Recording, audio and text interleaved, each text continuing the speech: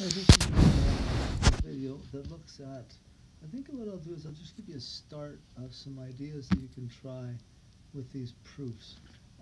Uh, so I could take them to the finish, but I could just give you an idea of something that maybe that you can try. Okay, this first one I look at, and you got to start with one side or the other. I guess you can work on both sides, but I think I'm going to start on this side because it has a denominator that's got two terms. I see a denominator on the other side that only has one term, so I'm wondering what kind of things I could do to maybe get one term. Um, so maybe one thing that you could do is multiply this by the conjugate. We've done that lots when we were uh, simplifying stuff with radicals uh, and with uh, complex numbers. We've uh, multiplied by a conjugate, but it's something that you can do anytime uh, just to see if you can simplify and see what happens after you do that. So on the top, I'm just going to leave that in factored form. But on the bottom, I'll FOIL that whole thing out. So 1 times 1 is 1. 1 times minus cos is a minus cos x. Cos times 1 would be a positive cos x. And those, of course, are going to cancel. And then this times this will be um, minus cos squared.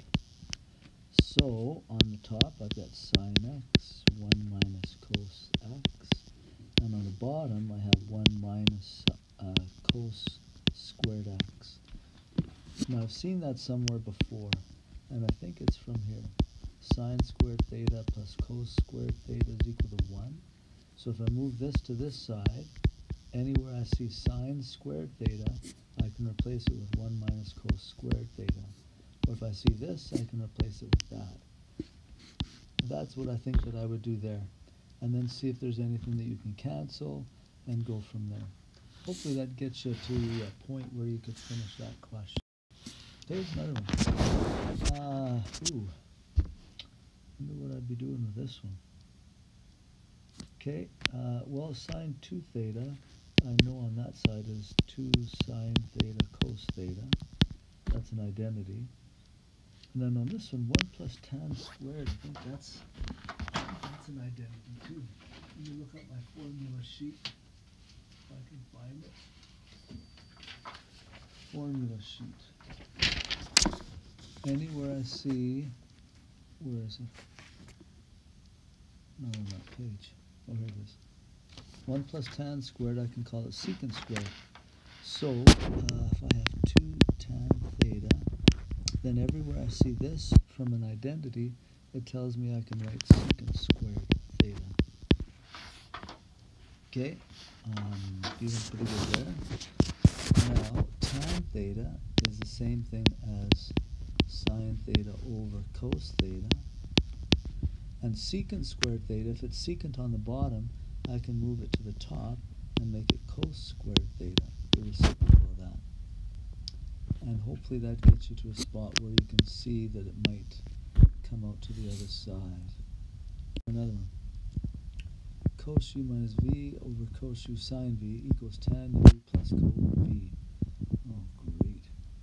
I don't know what to do with this one. Well, uh, maybe on this side. Oh, let's try the left side. Cos u minus v. That's an identity cos u minus v.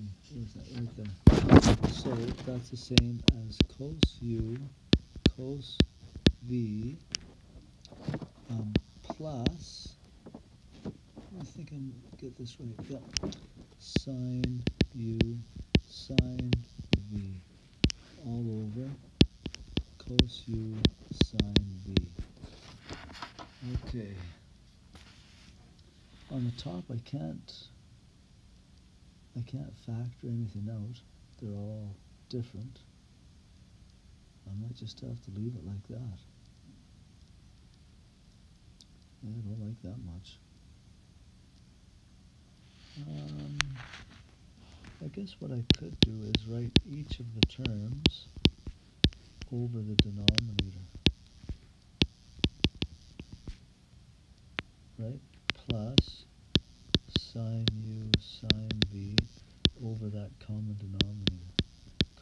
over um, that common denominator. Cos u sine v. Now here those cancel. And cos over sine of v, there's the same angle. I could write that as cotan v. A. And here I've got a sine v and a sine v.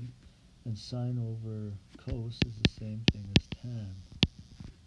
Hey, there it is. Done. Proved. Oh, I like that one. Sorry, I finished that one for you. I should have should have stopped. Okay, here's another one. 1 5 theta cos 3 theta minus sine theta. This looks like an identity though. But there's a minus in front of it that bothers me. I'm going to factor a minus out of those. So it'll be 1 minus, and then cos 5 theta cos 3 theta plus sine 5 theta sine 3 theta And then this uh, is really cos of um, 5 theta minus 3 theta. I think. Um, yeah, that's an identity. And then 50 minus 30 is 20. So it's 1 minus cos of 20. No, not 20. 5 theta minus 3 theta is 2 theta. Cos 2 theta is equal to 2 sine squared theta. Okay, is that an identity?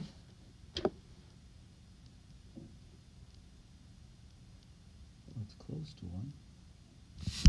So cos 2 theta, so 1 minus, okay, cos 2 theta, it says is 1 minus 2 sine squared theta is equal to the other side.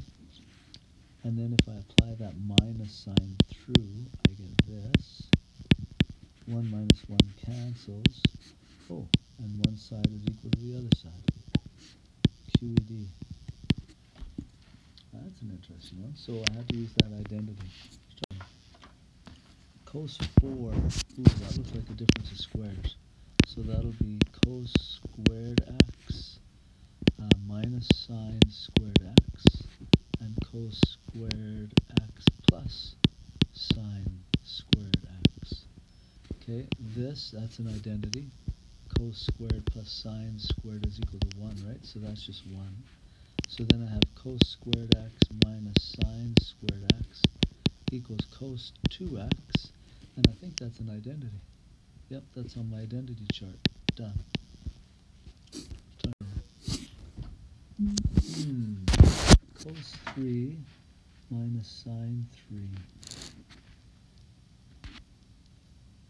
That looks like a difference of cubes. I guess I could factor that. So that would be cos beta minus sine beta times cos beta plus cos beta sine beta plus sine squared beta all over cos beta minus sine beta. Okay, and that's uh, from a difference of cubes. And I think that's on, is that on the formula sheet? Uh, I don't see it. Oh, no, there it is. Sum or difference of cubes. Yeah, there it is. Is that right? A minus. Yeah, that's right. Oh, now this is the same as that. So here, oh, and this first one, this should be cos squared. Okay, and then, hmm, so then I'd have cos squared beta plus sine squared beta. And I want to know if that's equal to this stuff. Hmm.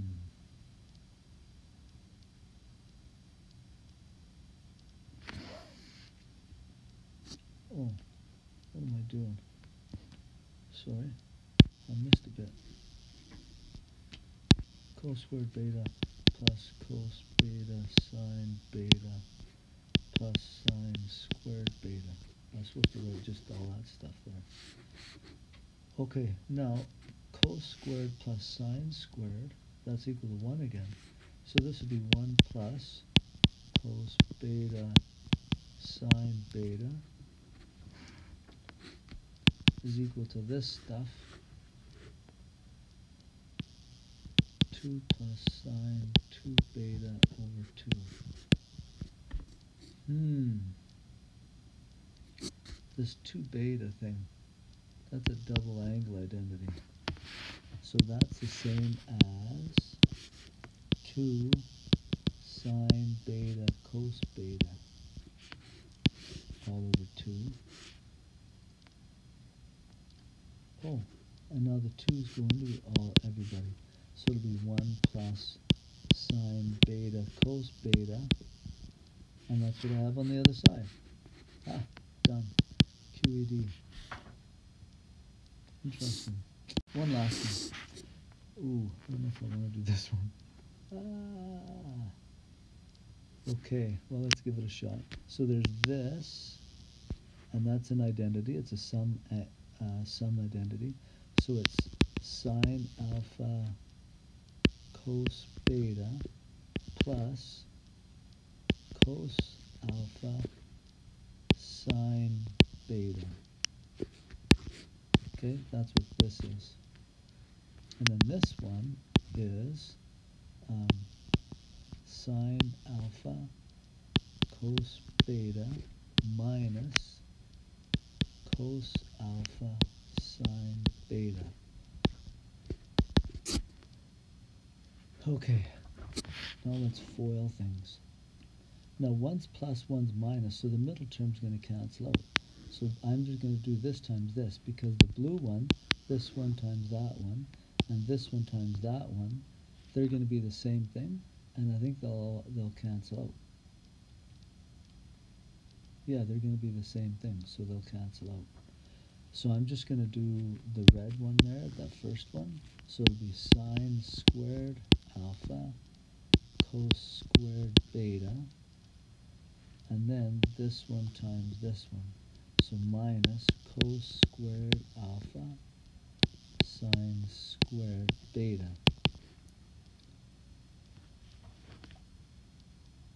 okay um, that's not helping me much yet.